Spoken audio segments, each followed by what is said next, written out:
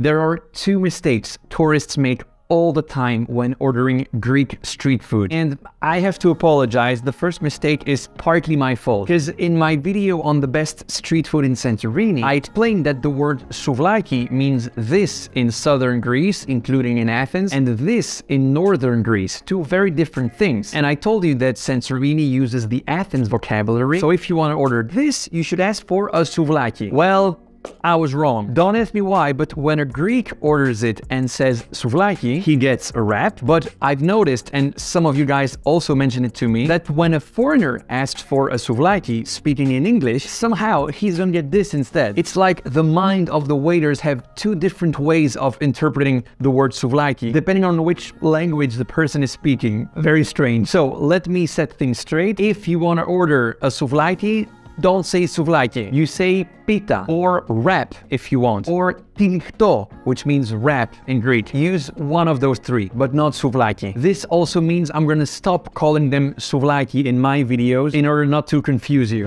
All right, this was for the first mistake. The second mistake is to call this a gyro or a gyro. If you go to the guy and ask for one gyro, he's gonna say, okay, great, one portion and you're gonna say yeah yeah one portion expecting it to mean one pita. And then guess what? When they're gonna serve it to you you're gonna see this way bigger than you expected. And this is indeed what we call a portion of gyros in Greece. It's basically the equivalent of two or three wraps but open on a plate. And not only is it way more than what you might have wanted, but it's also much more expensive, around 15 euros instead of the 4 you would have paid for a pita. I'm convinced that many waiters actually understand that you're asking for a pita, but they trick you into ordering something much more expensive. But hey, I'm not saying that a gyros portion is a bad meal. It's great, it's delicious, but it's massive. And oftentimes you didn't want something that big. So as a quick recap, when on an English menu, you see gyros portion, it means this. When you see souvlaki, it probably means this. And when you see